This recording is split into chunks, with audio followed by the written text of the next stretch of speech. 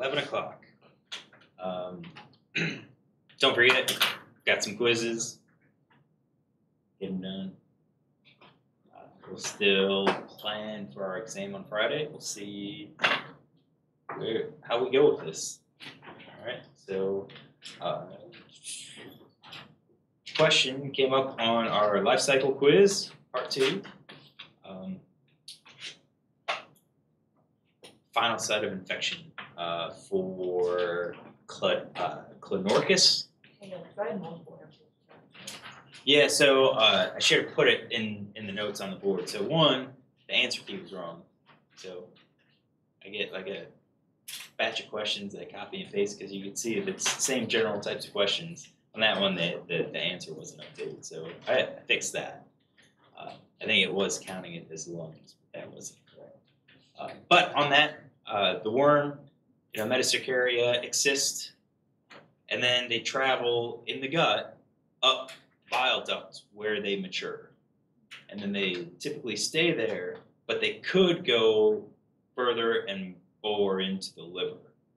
There's a possibility of that. So uh, on the board, or in my diagram here, I had uh, in gut and then bile duct, and then I had an arrow that went to the liver. That liver part should have been in parentheses to say it's possibility. That's one way in which you could get some pathology associated with it. That liver, that bile duct is the site of is the final site of infection.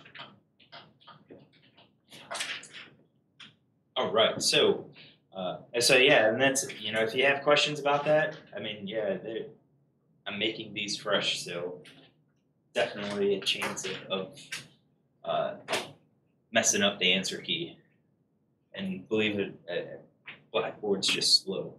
Blackboard is slow when you do stuff. So we're on cestodes. All right, this is where we left off. We were talking about uh, the strobila. What was the strobila? That was the main part of the body. It's where all of our proglottids are. And the proglottids is technically the area around all of the genitalia. All right, genitalium is, is that the set of the reproductive organs. All right. Uh, most of the tapeworms that you've seen and you've probably heard, read about, or heard about are all polyzoic, meaning we've got multiple proglottids in them. Uh, but we do have some that are monozoic, meaning that it, it consists of basically a single genitalium. And it's not even necessarily a proglottid. This is one. Uh, it's a that's in uh, the Caryophyllidea, Caryophyllidea. But you can see this is a tapeworm. It almost looks like it, it's a digenetic trematode, but it doesn't have the oral sucker, doesn't have any of the ventral suckers or acetabula. Uh, but this is a tapeworm. It's got a Bothrius scolex. So it, it's a tapeworm, and, and we'll talk about uh, this order. Now, and I think we left off with the constrictions. So what gives it the appearance of this segmentation was constrictions that happen. But the constrictions don't actually separate each of the individual proglottids. There is no separation. There's no membrane there. Everything is, continu- is contiguous until you get to that final terminal proglottids where you do start seeing membrane uh, membranes form between them uh, because that could be a way in which eggs get released. Meaning, you could have detachment of our proglottids that then travel down the gut and leave the host, or they rupture inside the intestine, leaving leaving our uh, eggs to, to get passed in the feces. And there's terms for that. I thought it was on this slide. It's on the next slide. All right, so uh, inside the strobila, maturity extends posteriorly. So the youngest proglottids are the closest to the scolex, the most mature. The oldest proglottids are located uh, at the very posterior end of the of the strobila. Uh, maturation is typically male first, and then females. Okay. Typically, male genitalia, male gonads develop first, and then females develop second. Uh, you can have mating within a proglottid. Uh, Echinococcus will do that, and, and I might have a, a diagram of how that works. Uh, you can have mating between proglottids. I mean, if you have a worm that's a foot long, you can see the worm can fold in upon itself, and you have uh, sexual reproduction that way. Or you can have reproduction between two different worms. So, uh, different ways in which you could have sexual reproduction. After you have the mating, then you have egg development, and what will happen is, you, as you start getting the eggs maturing or being developed and being stored in the uterus, you had typically see degeneration of the genitalia until you get a proglottid that's basically filled with eggs. And that's a term that's called gravid. So a proglottid that is gravid is a proglottid that is completely full of eggs. Now, it's fully developed eggs or shelled embryos. It doesn't necessarily mean we have a fully developed oncosphere inside of it. It just means we have a fully developed egg. Those are ready to be released. Now, some of our uh, proglottids, uh, and we'll see some of them, uh, it's has this feature called craspedote. Uh, and what that means is that our posterior edge of the proglottid overlaps with the anterior edge of the other one. So if we had proglottids,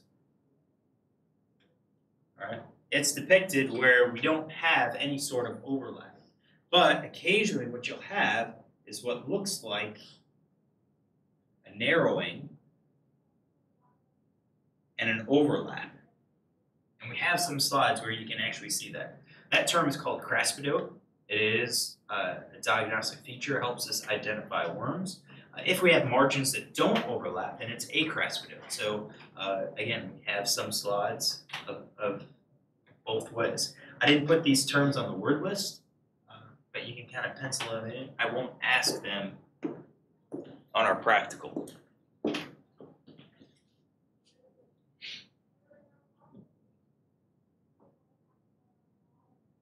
right. So craspedote and acraspedote.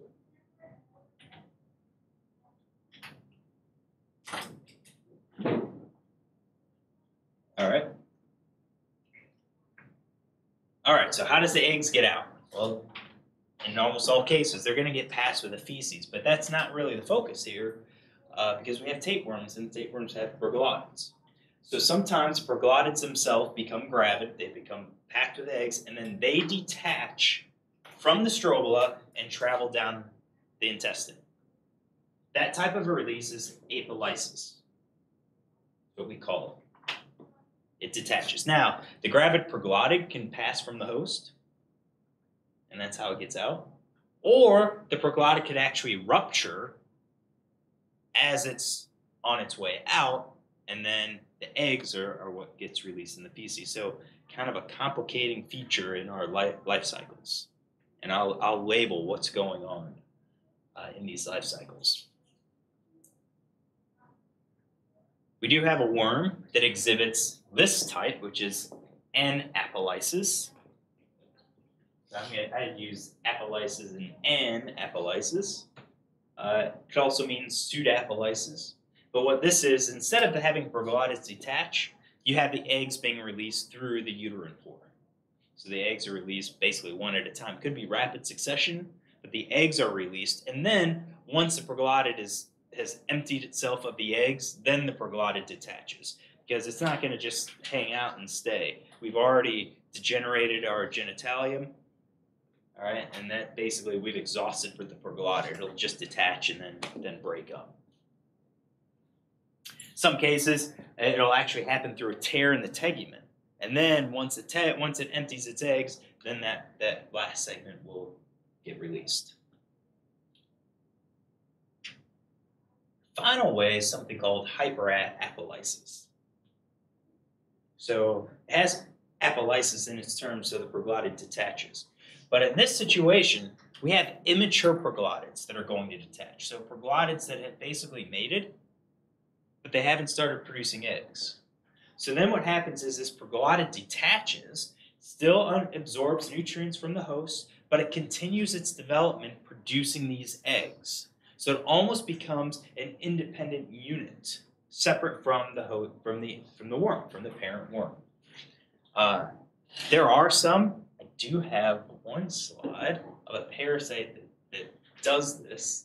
Right? It's, it came from a personal personal collection, but I thought for completeness, I'd include include this hyperapolysis.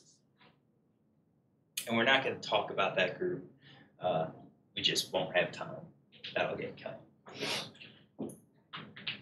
So those are egg releases. And for our life cycle, I will write down apolysis or anapolysis. Uh, fortunately, I think we only have one species that is anapolysis. Everything else is apolysis.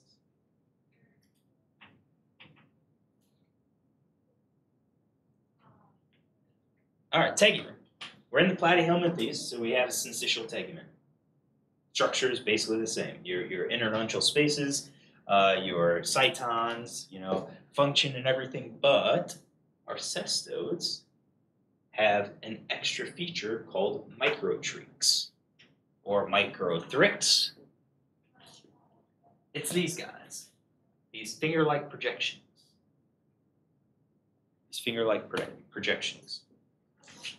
And they don't, they can be simple, like right over here, where they do look like villi, you know, microvilli or whatever. Or they can be somewhat complex. It looks like this. This can also be a diagnostic feature. So kind of zooming in and looking at what what the microtricks look like. And you could you could wonder, okay, why do these guys have them, but like our trematodes do not? Well, you have to think about their function. What are we doing? We're drastically increasing the surface area. Why do we want to do that? Well, if we increase our surface area, we increase absorption. Cestodes lack a mouth. They lack digestive system. So the only way in which these guys can acquire nutrients is through absorption. So this is one of those adaptations that kind of goes hand in hand. If you're going to live by absorbing all your nutrients, you better have a lot of surface area. Microtrichs can do this.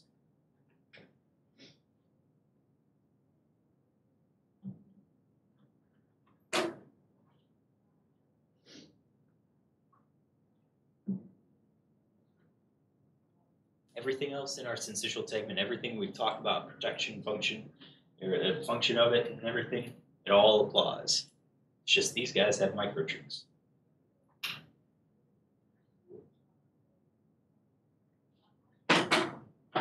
Pretty much everything else is going to be very similar to all the other platyhelminthes that we've talked about. So our excretory system, our osmoregulatory system is mm-hmm. protonephridial in nature. Right, you've got your flame cells, and it leads to collecting ducts.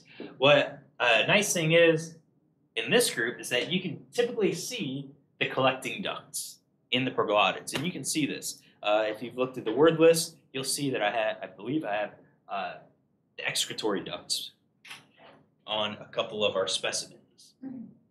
Now, we have longitudinal collecting ducts that run the length of the worm, and you can see that they go between proglottids. Well, we already said these aren't like individual segments. Right? It's it's continuous uh, between these segments. It's just the constrictions give the appearance of this segmentation. Uh, so we've got lateral collecting ducts, and usually they exist in pairs, where you have a, a dorsal uh, and a ventral duct on each side of our uh, of our worm. And then you typically have transverse ducts that connect the two sides, and those are only on our ventral canal. So I think we do have one where you can identify the transverse canal. Not on every specimen, because these are older slides and the stay, it started to destain a bit, uh, but you might be able to see these. The collecting ducts do merge in the scolex area.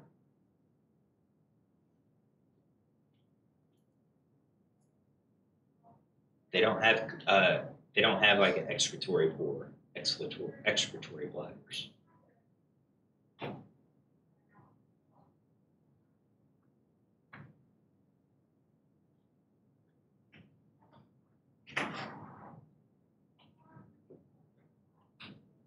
Nervous system, bladder type system, just like we've seen. Uh, most of our worms, we have paired cerebral ganglia. So you got two of them. And they're in the scolex region, and then you have two nerve cords that run down the length of that strobila. The one exception is Diphyllobothrium, which is a species that we have in the lab, which is a species we'll talk about. That has a single ganglion, which kind of begs the question, why? Why is it just one? Why not two? Uh, it's probably a secondary loss, just based on systematics. But you know, just add that exception. So don't say, oh, tapeworms always have two cerebral ganglia. Not all of them. We have an exception. We do have transverse commissures. So those ladders, the, the I guess the rung of the ladder uh, on our diagram, uh, they're found in every proglottid. So it's the sensory. And then branching off these nerve cords, we have various sensory apparatus, both chemical and tactile.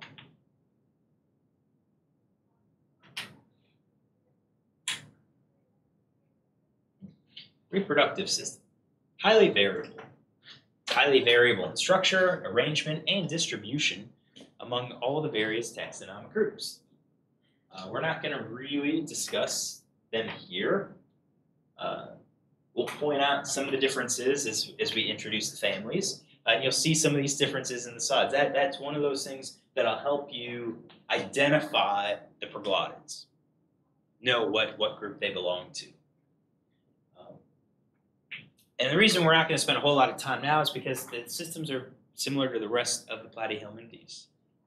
Right? So your ootype, your ovary, your Mehlis gland, all of that stuff, terminology still stays the same. It still follows the same general pattern.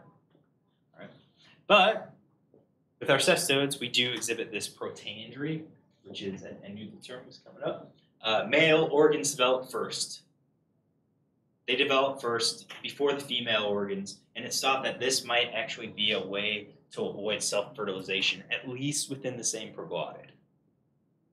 Not necessarily between the worms, because the worms can fold in upon themselves, but perhaps within the same proglottid.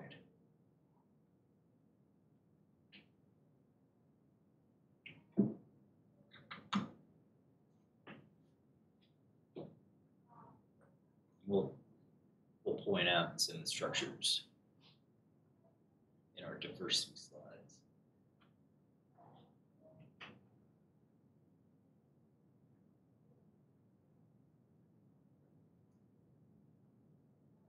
Ready? Almost. So we're getting to life cycle variation. We're getting close to finished on this one.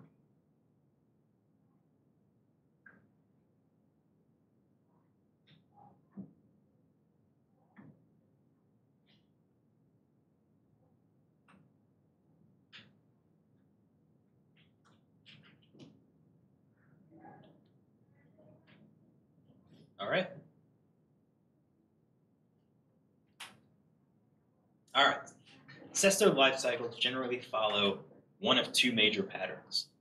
Uh, I used to say it was kind of aqu- aquatic versus terrestrial, and for the most part, that's true. You've got an aquatic type type of pattern, and then a terrestrial type of pattern. And I've got my names here, and we're gonna kind of define some of the terms in this presentation and define others when we get to those example life cycles. All right. So uh, in both of these, our life cycle generally relies on trophic connections between their hosts. So we really, the cestodes, hugely dependent on predator-prey interactions or herbivore-plant interactions. Right? Consumption, major way in which we get infected. So in our aquatic type of life cycle, what you typically have is go from your egg to the oncosphere to a procercoid to a plerocercoid and then to an adult. All right, so like two different developmental stages in our larval stage. Also in this aquatic life cycle, I put this in parentheses, this is where we would see a coracidium if it's in that life if it's in that life cycle. So a coracidium is going to be equivalent to our miracidium or oncomiracidium. It's uh, going to be our ciliated stage. It doesn't do you a whole lot of good to be a ciliated stage on land. All right? So this would be kind of be the, the aquatic type of life cycle. Coracidiums uh, only appear in those. Terrestrial type of life cycles, you have your egg, you have your oncosphere, and then you have a cysticercoid or a cysticercus type of larval stage. All right, and there's several of these. All right, these are not necessarily. Some of them could be would qualify as bladder worms.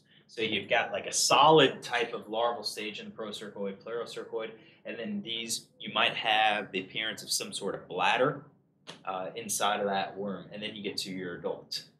Uh, now, these are the basic patterns, but again, you're going to have a lot of variation. And that a lot of that variation kind of comes down to what that metacestode is. And just a generic term for a metacestode is a larval stage, the larval stage be- before the adult. So it's kind of between that oncosphere and the adult stage. What is the metacestode like? What does it do? And that's where we're going to see a lot of this stuff. All right, so this is just kind of this diagram. I, think this is our textbook. Just shows you all, all of that, the ways in which you, you can you can go, the different life cycle stages. So we've just drastically increased the number of larval stage names just by going from Digenea to cestodes. So there is a common larval stage, and that is the oncosphere also called the hexacanth larva. All right, so I think hexacanth kind of gives gives you a clue to its name. Hexacanth, right? Six hooks. That's what an oncosphere possesses. It's a non-ciliated larval stage, possesses six hooks. Hooks are likely used in penetration. Right? So it's not ciliated and it has hooks. Now, these guys could retain in the inner envelope of the egg. So the inner envelope of the egg, and that could be ciliated. And that's what is the, the coracidium. So the coracidium is an oncosphere larvae that has retained its ciliated inner envelope. And that allows it to swim around. But all of our life cycles have this oncosphere. That's what's going to be inside of our egg.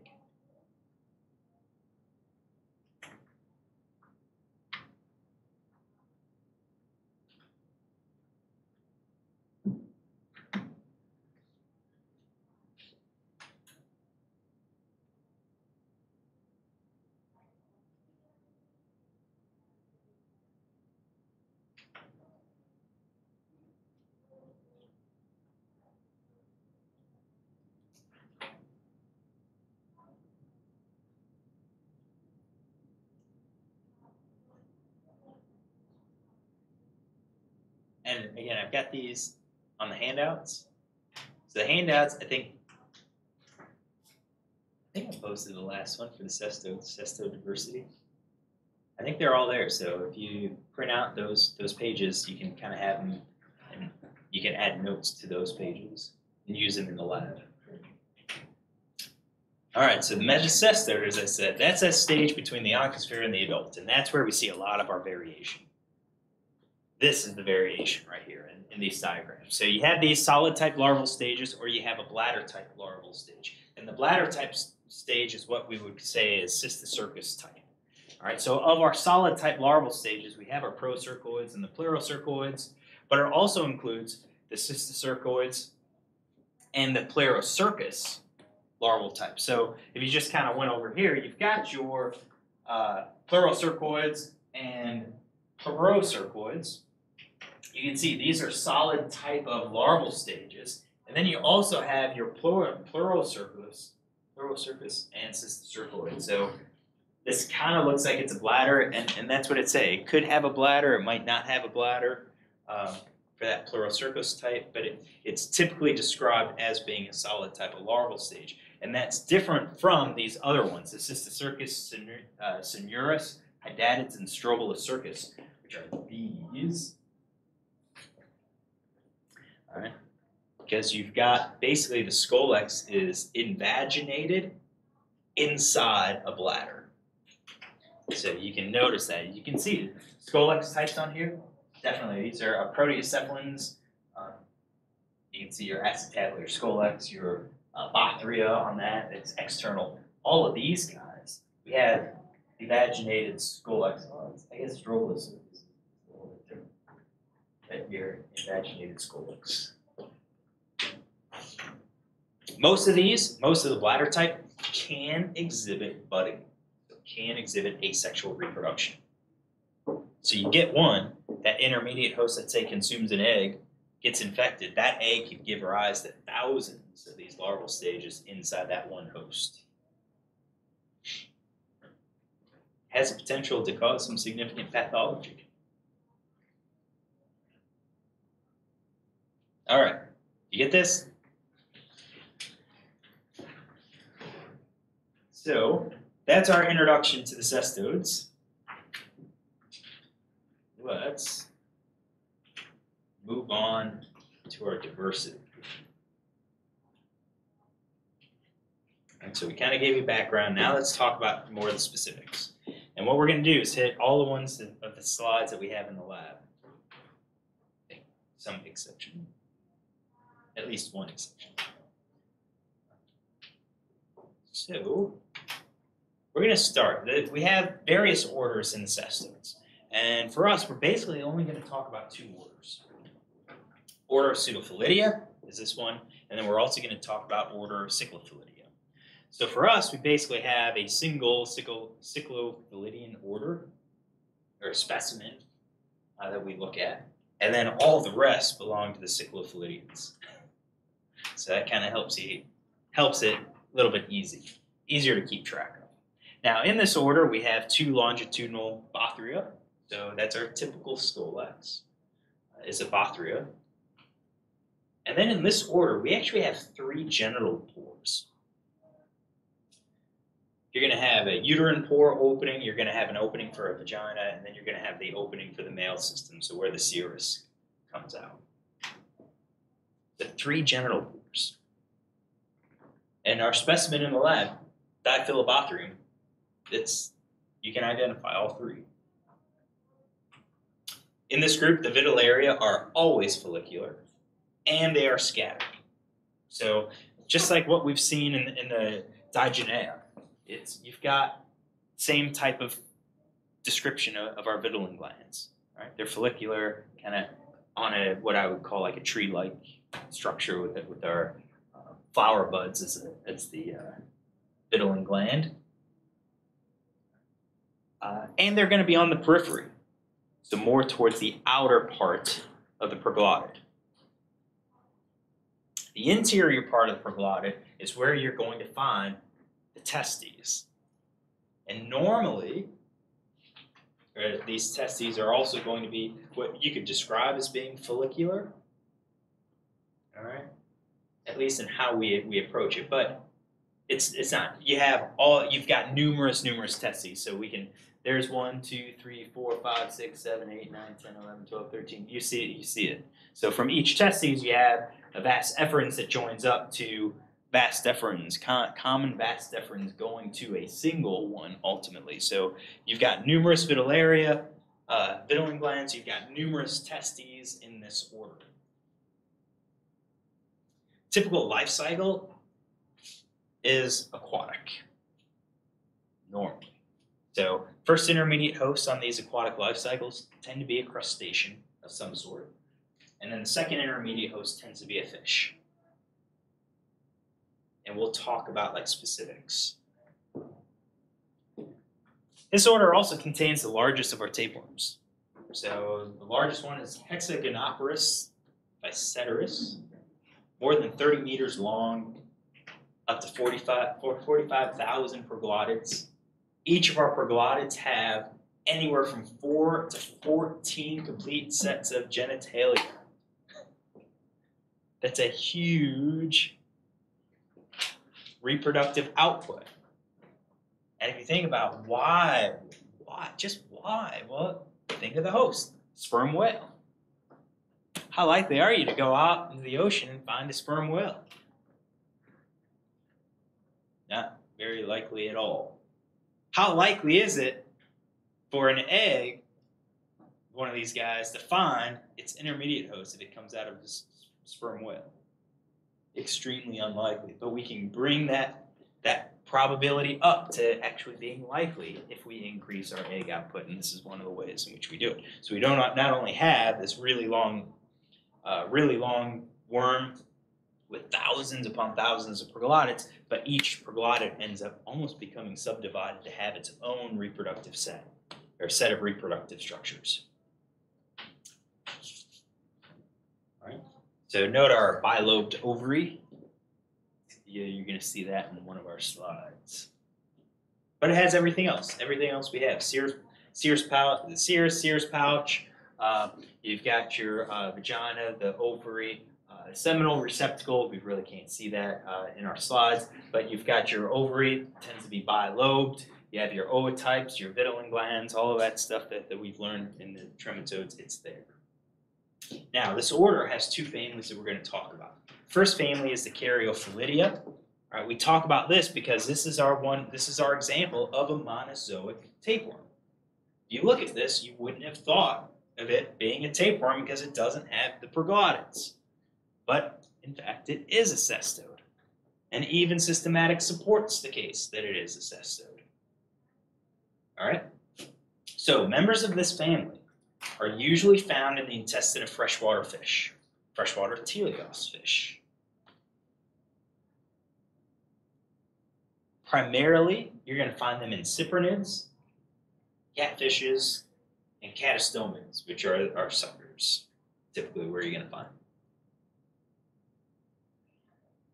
So freshwater fish. Scolex is Bothria. That, that qualifies. Weakly muscular grooves. It's monozoic, so we only have one genitalium in the entire worm, and there's no evidence of segmentation.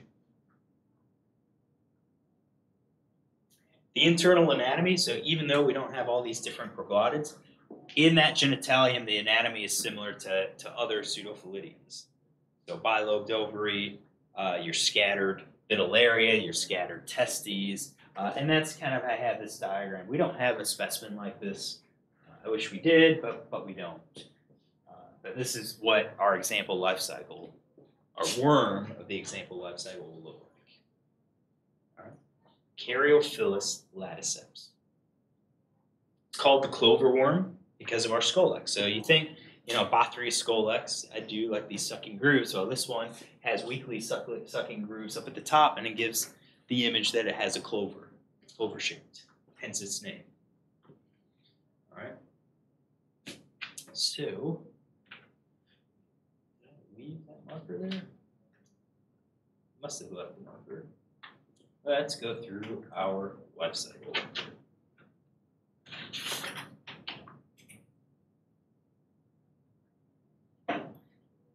I know suckers aren't a popular fish on anglers.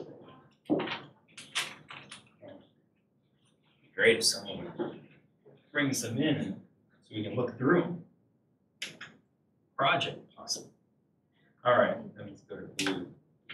Okay. I mean, I don't. This isn't my blue marker. Do you see a blue marker around? I got the same like the generic universal brand. But we'll, we'll try this one. This one, let's hope this is, better. All right, so uh, Caryophyllaeus.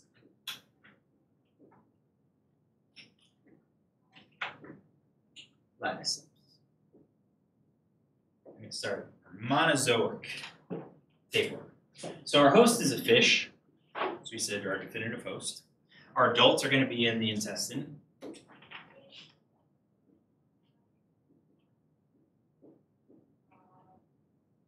And this will be our one life cycle. We don't really have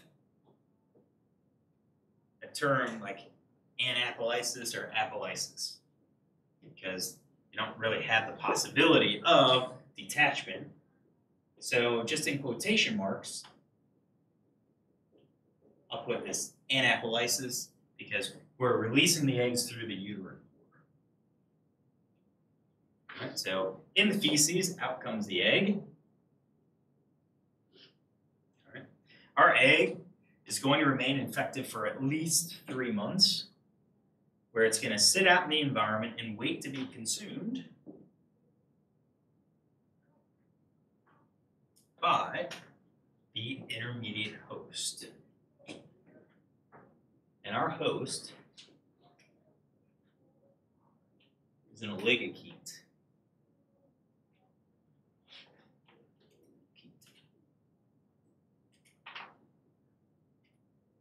Tubifex, tubificid oligochaete. Oh, tubiphid worms. Oh, An oligochaete. So it consumes the egg. The oncosphere hatches from the egg, where it is in the gut. It then bores itself out into the hemocoel, where it develops into a procercoid.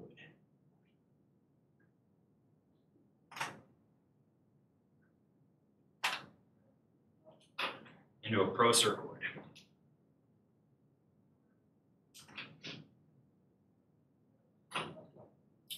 And then once it gets to our procercoid stage, it is now infective to our fish host.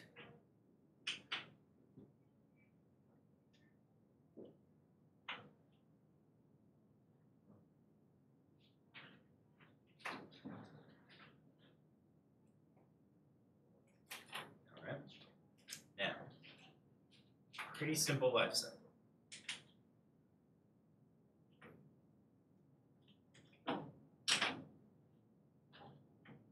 However, there's some things that go around with this. So in our life cycle, this whole development to our procercoid can, can happen fairly quickly. So in a year, you've got egg release, the ligate gets, you know, picks up egg, you have procercoid that develops, and then the fish can eat it, let's say in August, September, all right? Does our parasite start developing eggs at that time? No, it doesn't. What's going to happen is our procercoid will just kind of start developing, will mature, but not start doesn't start producing eggs. Egg production is actually stimulated by the reproductive hormones in our host.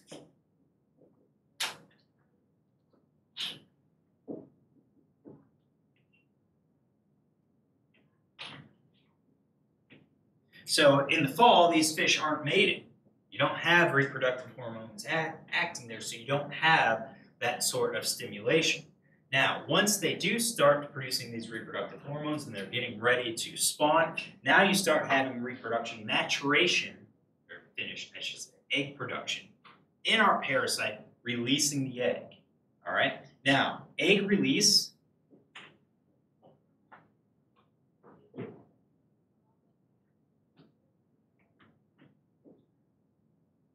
is only for about two months. Because our parasite typically lives no more than a year. And that is from egg to adult.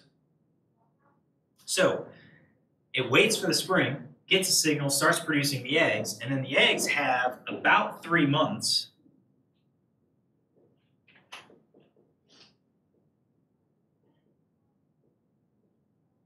in which they can they need to get into that oligochaete worm. And you might be wondering, what happens if the oligochaete doesn't get eaten in that fall? Because the oligochaete can survive. The oligochaete lives about a year.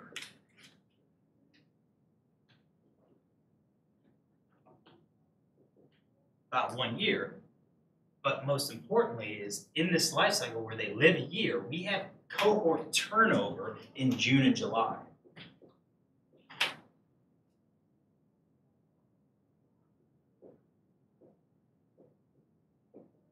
So, any of those worms, those oligochaetes that picked up the infection in the spring,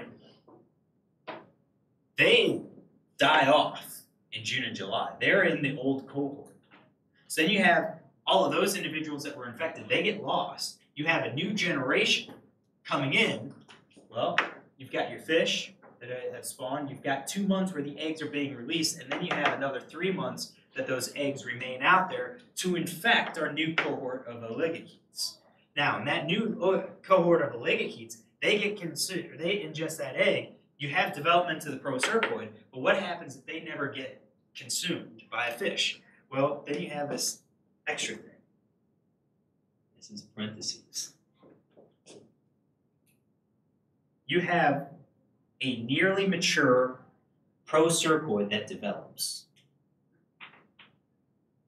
And it develops slowly over winter.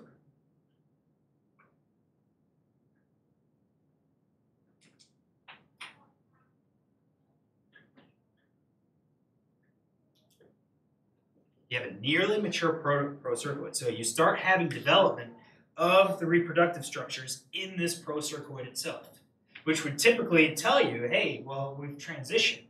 We're no longer a procercoid. However, those are procercoids because they possess this structure there. That structure right here is called the cercomer. And that is the defining feature of a procercoid. So a procercoid is our larval stage of metacestode. It possesses a posterior circum- cercomer. And that cercomer is a posterior knob-like appendage that contains the larval hooks. So we find it on procercoids. We also find it on cysticercoids. So we have some cysticercoids of Hymenolepis in the lab. You can take a look at it. You can actually see that appendage. Now here it's pretty not. It's pretty small. It could be a little bit longer. It could be more short and, and knob-like. All right, but we have this posterior appendage. The larval hooks were retained on that appendage. So in our life cycle, we get to our procercoid, and then as they overwinter, those procercoids are developing mature gonads. But they wait until they get the reproductive hormones in that next host, where they drop your cercomer or they absorb the cercomer, uh, you know, and then start completely transitioning to the adult and, and reproduce. So it's a very timed life cycle. It's a very timed life cycle because you've got the intermediate host that's only living a year and you have complete cohort turnover that happens in the summer every year. So you can have infections early on. Yeah, a lot, of those eggs get lost because the oligochaetes die off. But if the oligochaetes gets consumed by fish early on, all right, it's in that host, and typically those those newer fish will reproduce the next year. Pretty cool. I think so. Any questions? All right. Next family is Diphyllobothriidae. These are our broad fish tapeworms. Why are they called that? It's relatively wide. 13 distinct species in the di- uh, in the genus Diphyllobothrium. All of them can infect humans. There's two of them that are probably the most common in humans. Uh, dendriticum and Diphyllobothrium latum. Now, some people would, would have said that these are one species, but uh, sequence analysis, some developmental analysis suggests otherwise. So dendriticum is in is throughout the northern hemisphere globally. Diphyllobothrium latum is typically restricted to Scandinavian countries, the Baltics, Western Russia, um, and so forth. And but it's also been then introduced to other areas, including around the Great Lakes and along the West Coast. Just in the wild animals, but in humans. So nine million people are infected worldwide with Diphyllobothrium.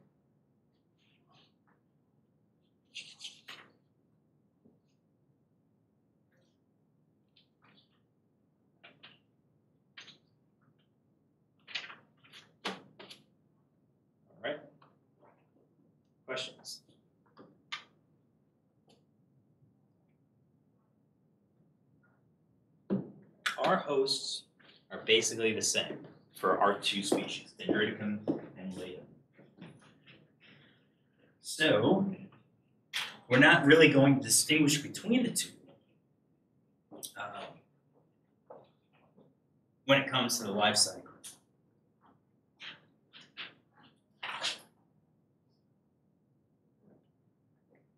So, in our Diphyllobothrium, I might be able to get this drawn in five minutes. Might not be able to put everything up there. All right, so our final host is a fish-eating mammal.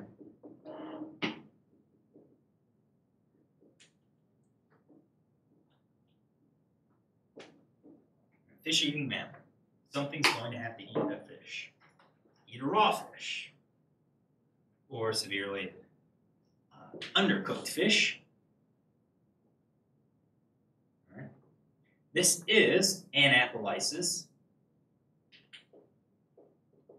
So eggs get shed through the uterine pore.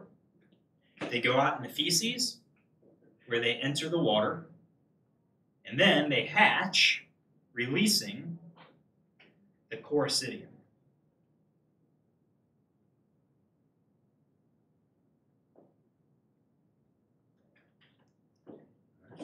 Coracidium is going to get consumed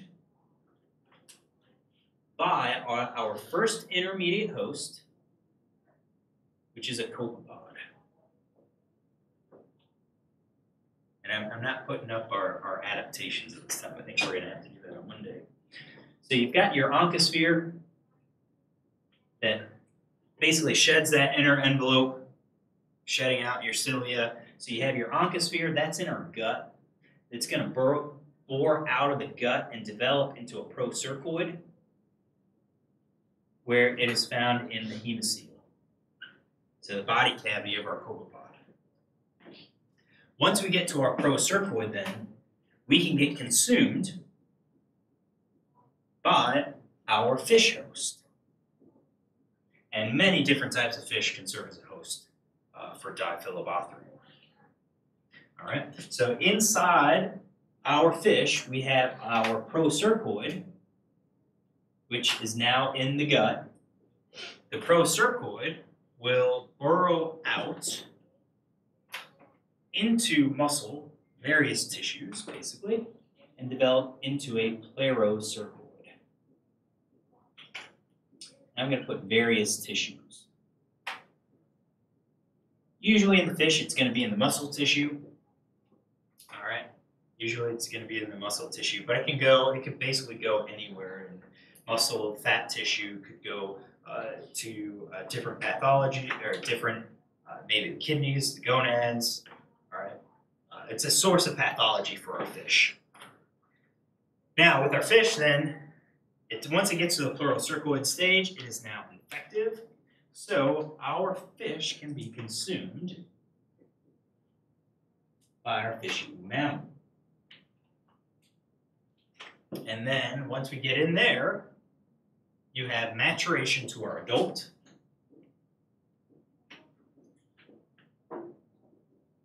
Where it is found in the small intestine. Not just any part of the small intestine, it's actually located in the anterior third of the small intestine. Our trigger for development is an increase in temperature, so we go from cold blooded, which is incorrect, but poikilotherms to a homeotherm, all right, which is increase in temperature inside the gut. And that's how our worm knows that it's in a in a vertebrate. There is one thing though. So what size fish is eating a copepod? Small fish, pretty small fish, right? Fish eating mammal could include, you know, bears, grizzly bears. What size fish are those eating? Much bigger one. So yeah, in our life cycle, we have many paratenic hosts. specifically many other fish hosts, where if a fish consumes one of these infected fish with a plerocercoid, the plerocercoid migrates out of the gut to various tissue.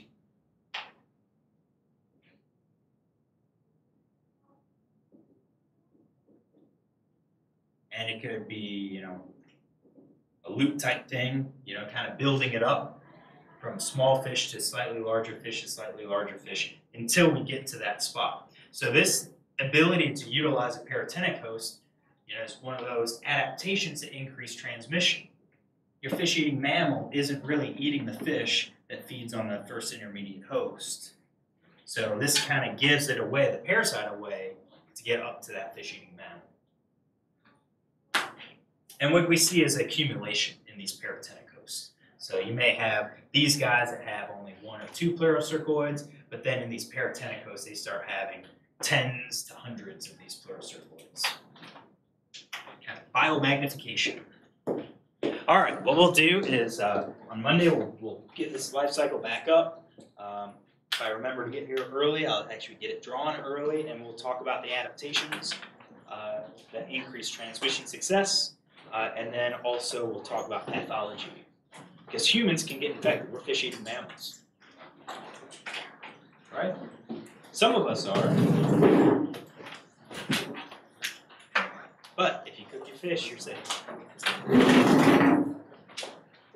All right, have a good one.